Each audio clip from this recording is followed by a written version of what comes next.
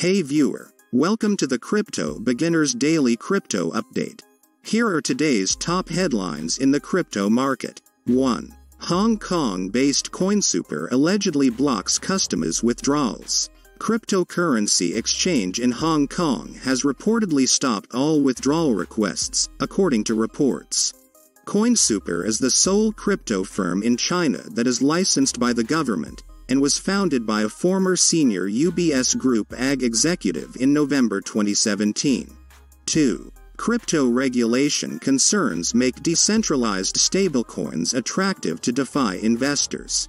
Stablecoins have emerged as a foundational part of the cryptocurrency ecosystem over the past couple of years due to their ability to provide crypto traders with an off ramp during times of volatility and their widespread integration with decentralized finance, DeFi.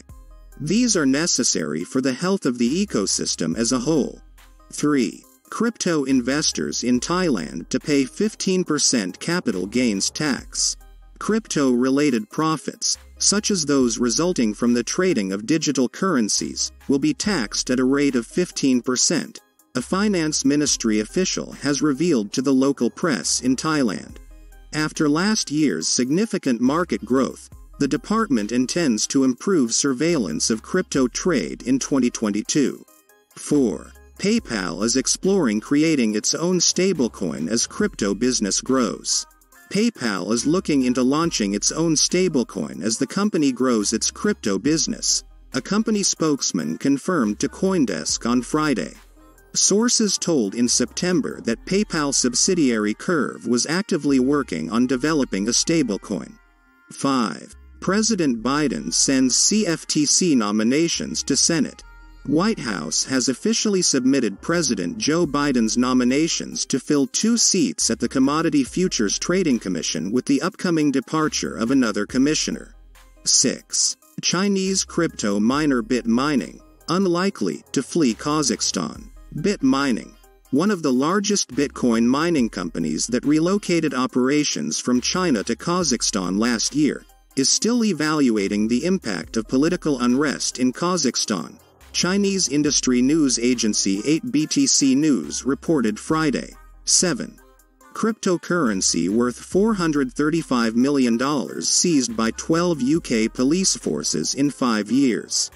UK police have revealed how much cryptocurrency they have seized in the past five years in response to Freedom of Information requests. London Metropolitan Police seized more bitcoins than other police boroughs. 8. JP Morgan sees more crypto adoption in 2022. Cryptocurrency markets and industry are set for greater acceptance from mainstream investors and companies this year.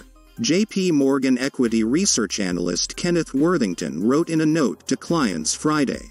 9. Samsung launches Metaverse Store in Decentraland. Samsung is the latest mega corporation to announce a metaventure project choosing Decentraland for its metaverse project. 10. Institutional investors say SEC having more power to regulate crypto will boost prices. Institutional investors are optimistic about the U.S. Securities and Exchange Commission, SEC, having more power to regulate the crypto market, a recent survey shows. They believe that if the SEC is granted extra powers, the prices of cryptocurrencies will be positively impacted. 11. Spanish lawmaker proposes turning Spain into Bitcoin mining hub. Maria Munoz, a member of the Congress of Deputies from the center-right Citizens Party, has proposed making Spain a safe destination for investing in cryptocurrencies amid protests in Kazakhstan that have adversely affected the Bitcoin mining industry. 12. Shiba Inu to see investment from former UFC light heavyweight champion. Former UFC champion Chuck Liddell has stated that he would invest in Shiba Inu based on the results of a Twitter poll conducted to find out the strongest crypto community. Exact amount the UFC superstar will invest into Shiba Inu remains unknown at press time. Thank you so much for watching if you enjoyed this video hit like share and make sure to subscribe. I will see you all in next episode.